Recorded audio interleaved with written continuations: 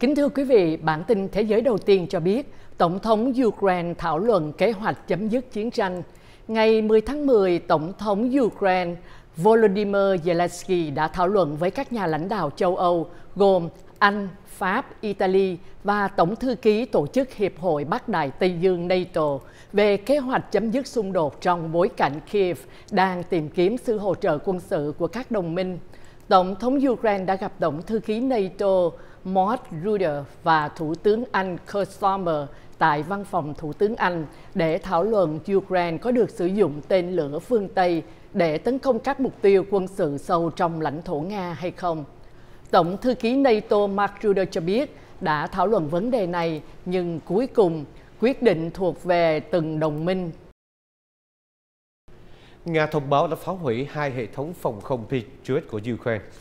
Quân đội của Nga hôm 10 tháng 10 đã thông báo đã bắn trúng hai dàn phóng hỏa tiễn phòng không loại Patriot, hệ thống vũ khí hiện đại và đắt tiền do các đồng minh của phương Tây cung cấp cho Kiev nhằm đối phó với lại các cuộc bắn phá diễn ra hàng ngày ở tại Ukraine. Trước đó một hôm, thì trên trang mạng Telegram, quân đội của Nga đã đăng một video quay từ trên cao cho thấy là vụ tập kích của hỏa tiễn hành trình Incaster vào một khẩu đội hỏa tiễn phòng không Patriot trong vùng Dnipro, miền trung của Ukraine. Theo nguồn tin này, thì một dàn phóng của hệ thống Patriot đã bị phá hủy và một dàn khác bị hư hại. Trong khi đó, Israel tiếp tục oanh kích Beirut nhằm tiêu diệt chỉ huy an ninh Hezbollah. Quân đội Israel tiếp tục ném bom dữ dội vào các vùng ngoại ô phía nam của Beirut cũng như ở miền nam Lebanon, mà theo họ là nhắm vào các vị trí của Hezbollah. Tối ngày 10 tháng 10, thủ đô Beirut là mục tiêu của hai đợt tấn công nhắm vào lãnh đạo an ninh của tổ chức Hezbollah. Các đợt oanh kích đã làm ít nhất là 22 người bị chết và 117 người bị thương. Theo một nguồn tin thân cận với phong trào Hezbollah, các cuộc oanh kích của Israel là nhắm hạ sát Wafid Safa, lãnh đạo bộ máy an ninh của Hezbollah.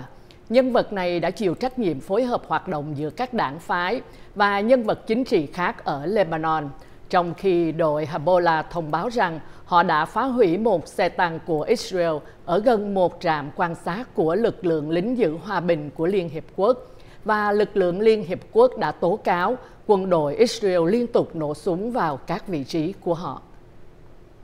Nhiều quốc gia phản đối các cuộc tấn công của Israel nhằm vào lực lượng gìn giữ hòa bình của Liên Hiệp Quốc. Trong phản ứng mới nhất liên quan đến các cuộc tấn công của Israel ở tại Lebanon, khiến cho nhân viên của lực lượng gìn giữ hòa bình Liên Hiệp Quốc viết tắt là UNIFIL đã bị thương. Trung Cộng, Ý, Nga và Indonesia đã ra tuyên bố bày tỏ lo ngại và phản đối các cuộc tấn công vừa qua. UNIFIL đang đồn trú ở tại miền nam của Lebanon để mà giám sát các cuộc giao tranh dọc theo đường phân định với lại Israel và khu vực thường xuyên xảy ra các cuộc đụng độ nghiêm trọng giữa quân đội Israel và lực lượng Hezbollah. Kính thưa quý vị, Tổng thống Biden vắng mặt tại hội nghị ASEAN, một sai lầm lớn của Hoa Kỳ. Lần thứ nhì liên tiếp, Tổng thống Mỹ Joe Biden đã vắng mặt tại hội nghị cấp cao ASEAN, khiến khởi các nước Đông Nam Á càng thấm thía nguyên tắc Mỹ thì xa, Trung Quốc thì gần. Tại Thượng đỉnh ASEAN năm ngoái tổ chức tại Indonesia, Tòa bạc Ốc đã cử Phó Tổng thống Kamala Harris đến dự vào lúc chỉ cử Ngoại trưởng Antony Blinken đại diện cho Hoa Kỳ đến hội nghị ASEAN. Giờ chót, bảo Milton buộc Tổng thống Hoa Kỳ phải hủy hai chuyến đi này, một lần nữa công nhận để thông cảm rằng nguyên thủ Mỹ đã đặt quyền lợi của người Mỹ lên trên hết. Nhưng theo giới quan sát, việc ASEAN không mấy hiện diện trong lịch làm việc của Tổng thống Biden cho thấy Tòa Bạch Ốc không quan tâm nhiều đến Đông Nam Á. Điều này làm dấy lên nghi vấn về những mục tiêu lâu dài của Mỹ ở Ấn Độ, Thái Bình Dương. Giải Nobel Hòa bình năm nay thuộc về tổ chức Nihon Hidakio thuộc Nhật Bản. Vào chiều 11 tháng 10, thì Ủy ban Nobel Na Uy đã công bố một giải Nobel Hòa bình của năm nay 2024 đã thuộc về tổ chức Nihon Hidakio thuộc Nhật Bản bởi vì nhiều nỗ lực hướng tới một thế giới không có vũ khí nguyên tử và đã chứng minh qua các nhân chứng rằng vũ khí hạt nhân không bao giờ được sử dụng nữa. Lễ trao giải Nobel Hòa bình sẽ được diễn ra tại tòa thị chính Oslo của Na Uy vào ngày 10 tháng 12 tới, trùng với lễ trao giải à, Nobel Y sinh vật lý, hóa học, văn học và kinh tế tại Thụy Điển. Người nhận được giải Nobel Hòa bình sẽ được trao huy chương chứng nhận và giải thưởng trị giá hơn 1 triệu đô la. Kính thưa quý vị, thêm một bản tin liên quan đến giải Nobel. À, nữ văn sĩ người Nam Hàn đã đoạt giải Nobel văn học năm 2024. Theo thông cáo của Viện Hàn Lâm Thụy Điển, giải Nobel văn học năm 2021 đã được trao cho nhà văn Han Kang vì những tác phẩm văn xuôi giàu chất thơ mãnh liệt khi đối diện với những tổn thương trong quá khứ và phơi bày sự mong manh của cuộc sống con người. Những tác phẩm của bà cho thấy sự nhận thức độc đáo về mối liên hệ phức tạp giữa thể xác và tâm hồn, giữa sự sống và cái chết, phong cách thơ mộng và đầy tính thử nghiệm đã đưa bà hàng Càng trở thành nhà văn tiên phong trong văn xuôi đương đại. Nobel văn học là giải thưởng thứ tư được công bố trong mùa giải Nobel năm 2024 và là giải Nobel văn học thứ 117 kể từ năm 1901. Hàng càng là nhà văn người Hàn Quốc đầu tiên giành giải thưởng Nobel văn học và là người phụ nữ thứ 18 giành được giải thưởng danh giá này. Cựu Tổng thống Obama đã đến Pennsylvania để vận động tranh cử cho bà Kamala Harris. Chiến dịch tranh cử của Tổng thống Mỹ tiếp tục diễn ra sôi động ở chặng cuối cùng.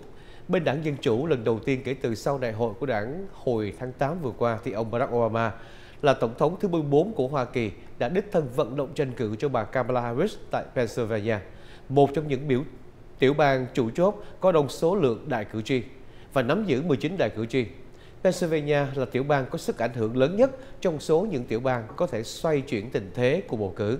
Và đây là lý do tại sao đảng Dân Chủ chọn Pittsburgh và ông Barack Obama là một trong những quân bài tốt nhất của họ để mà vận động cho ứng cử viên Kamala Harris trong cuộc đua xích sao này nhằm nỗ lực can ngăn không để cho phe đối thủ lôi kéo.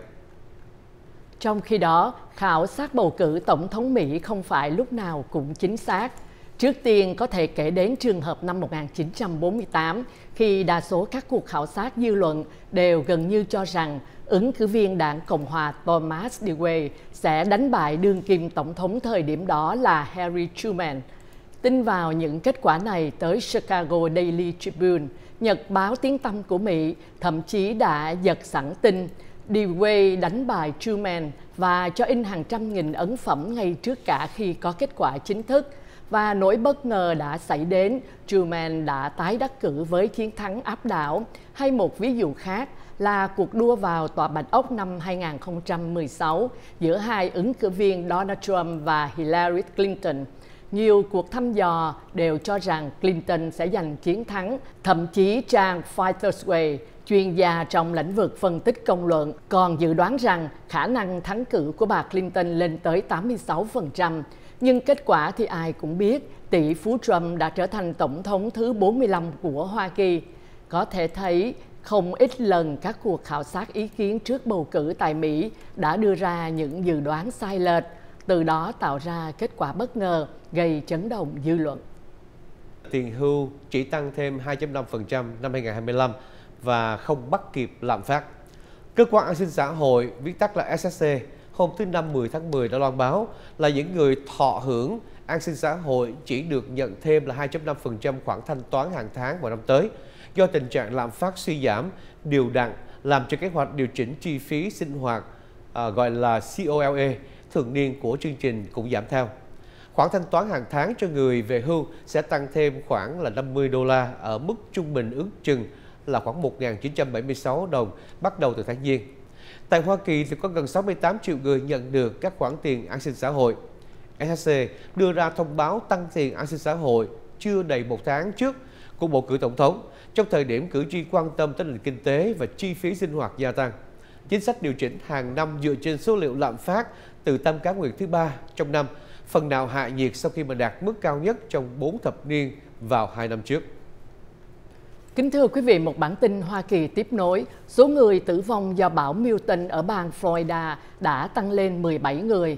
Số người tử vong do bão Milton đã tăng lên ít nhất là 17 người sau khi một trường hợp thiệt mạng được công bố vào sáng ngày 10 tháng 10.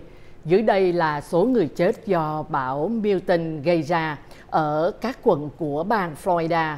6 người ở quận St. Lucie, 2 người ở quận Pilas, 4 người ở quận Volusia, một người ở quận Sychert, một người ở quận Hillsborough và một người ở quận Port.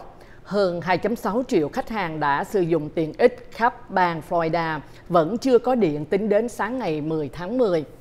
Còn số này đã giảm so với hơn 3.3 triệu người bị mất điện vào sáng cùng ngày. Tỷ lệ khách hàng không có điện cao nhất là ở quận Highlands thuộc miền trung tiểu bang Florida. Tại địa phương này, trên 88% khách hàng không có điện, trong khi đó hơn 70% gia đình và doanh nghiệp bị mất điện ở quận Hillsborough, nơi thành phố Tampa tọa lạc. Bão Milton đã đổ bộ chỉ hai tuần sau một cơn bão lớn khác. Bão Helene đã tàn phá Florida và các bang Đông Nam khác. Giới chuyên gia ước tính thiệt hại do cơn bão Helene và Milton gây ra tại Mỹ đã lên tới hàng trăm tỷ Mỹ Kim. Bản tin kế tiếp cho biết là có hơn 15 triệu người trưởng thành ở Mỹ đang mắc một chứng bệnh giảm chú ý. Thưa quý vị, theo dữ liệu nghiên cứu của Hoa Kỳ công bố vào ngày 10 tháng 10, thì có khoảng 15,5 triệu người trưởng thành nước này mắc chứng bệnh giảm chú ý, viết tắt là ADHD, với phần lớn trong số này đang gặp khó khăn trong việc tiếp cận các phương pháp điều trị. Báo cáo hàng tuần về bệnh tật và tử vong của Trung tâm Kiểm soát và Ngăn ngừa Dịch bệnh của Hoa Kỳ, viết tắt là CDC, cho thấy chỉ có 1 phần 3 trong số các trường hợp được chẩn đoán là mắc chứng bệnh giảm chú ý cho biết là họ đã được kê thuốc kích thích để điều trị trong năm trước đó. Gần 3 phần tư trong số đó dù được kê đơn nhưng lại gặp khó khăn trong việc tiếp cận thuốc do sản phẩm này không có sẵn. Và đây là nghiên cứu đầu tiên trong cung cấp dữ liệu về mức độ phổ biến của chứng bệnh giảm chú ý ở người trưởng thành tại Hoa Kỳ kể từ năm 2003. Trên thế giới thì có khoảng 2 đến 5% người trưởng thành trải qua các triệu chứng ADHD như là thiếu tập trung, tăng động, bốc đồng. Các triệu chứng điển hình của chứng bệnh giảm chú ý thường bắt đầu từ khi còn nhỏ. Tuy nhiên, khảo sát của Trung tâm Thống kê Y tế Quốc gia trong giai đoạn tháng 10 đến tháng 11 của năm 2023 cho thấy 55% những người mắc chứng bệnh giảm chú ý được chẩn đoán khi ở tuổi trưởng thành.